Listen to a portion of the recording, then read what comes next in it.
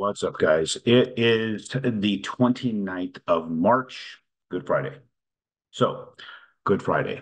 Um, look it up. If for some reason you don't know what it is, but take a quick, quick uh, deep dive into that. But let's go over a couple things here. So, Christ the man, anybody you can claim whatever you want with respect to whether the prophet, whether he's the son of God, who he was, right? But the bottom line is, man, there are statements that he made teaching that was passed on. And whether you think the person lived or didn't live, it doesn't matter that these teachings have been here and they've continued to be here since for 2,000 years, right? And let's talk about a couple of them, right?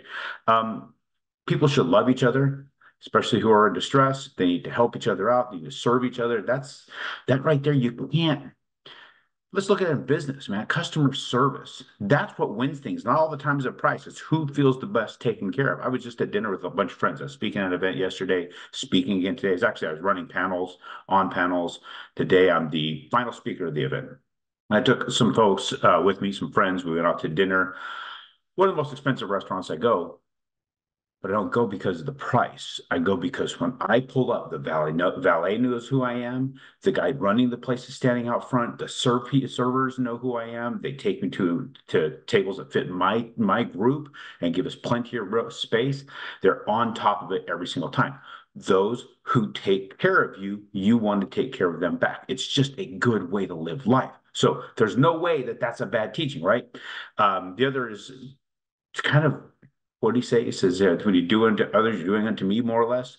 If you're if you're in a religious thought process at all, and you're taking care of your fellow man, you're literally doing what God wants you to do and re- responding to God.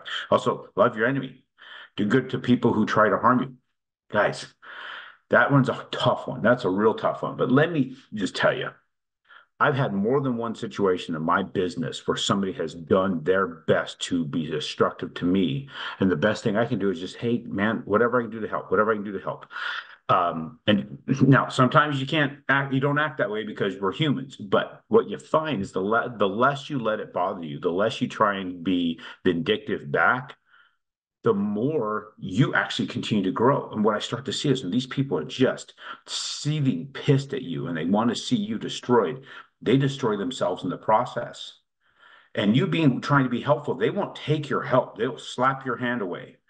But you'll feel you'll feel better about the whole situation. You can go about your day and your business confident in getting things done while they can only think about you. And the more they think about you, the more they destroy themselves. It's just the way it works. I've seen it happen over and over and over again. When people try and concentrate on hurting somebody else in business rather than trying to just do business with the people who are good at what they do and just trying to build people up, they destroy themselves. And what's interesting about that is there's nothing you can do to them that they are going to do worse to themselves. You can never save a person from themselves and they will actually do themselves the worst damage. So don't ever, ever get into a pissing contest with somebody. Stay away from that crap. There's no reason to fight and battle and go after somebody, make enemies with anybody. It doesn't do you any good. It turns you into that person seething at them, and you destroy yourself in the process.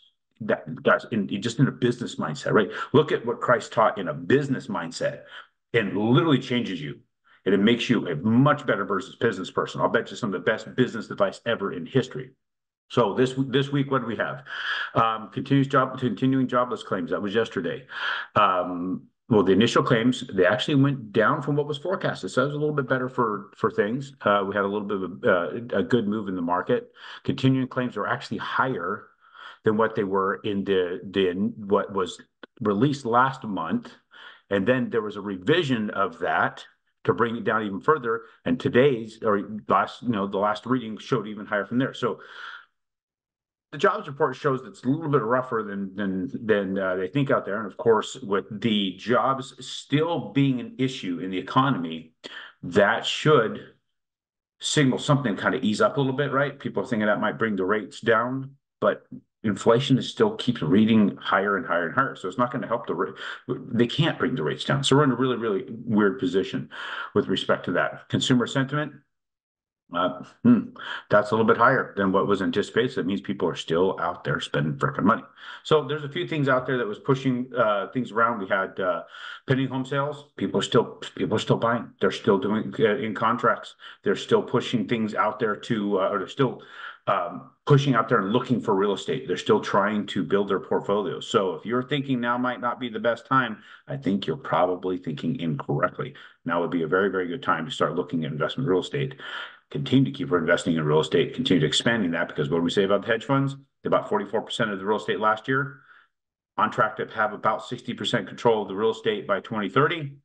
You need to own it. You need to control it as much as you possibly can. So so where our market ended yesterday, it actually started pretty good. We we started right here where I'm still looking at. It punched all the way up. It held right to the peak of this particular, uh, not to the quite peak of this wick the day before, and it fell right back down to where it started. So we really went nowhere. So we had a good day that really didn't go anywhere. But it means we're sitting right in the middle of all that that I was showing you last time this particular downward trend, which actually follows our downward channel. Look at that big old, big old freaking uh, deal we got going on here. This thing is pushing us down at that angle, matching this angle, meaning we're continuing to follow this. Now, I thought maybe if it came up, who knows, might be might might start a different trend, but it's really not. We're literally fell right back down.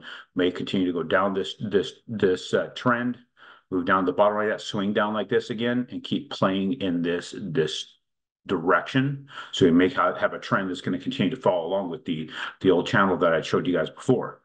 So you start looking at that, starts to follow that channel. We're doing what I was saying before, which is a blue pill market. We're going to be higher for longer. Seems to be reasonable that that's what we're going to have. So if you're really, really, really, really concerned about interest rates, I'd be locking. I'd be locking right now. Thank you, and we'll talk to you guys on Tuesday.